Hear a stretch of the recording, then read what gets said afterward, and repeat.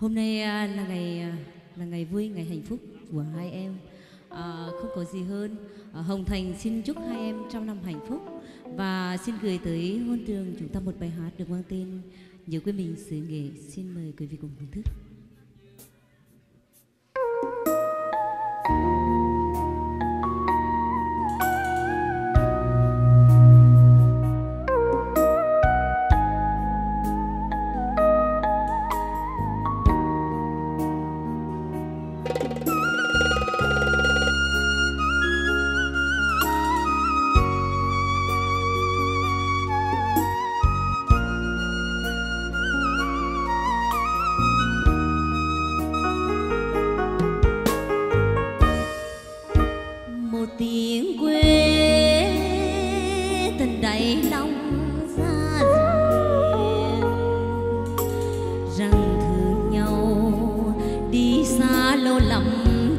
Về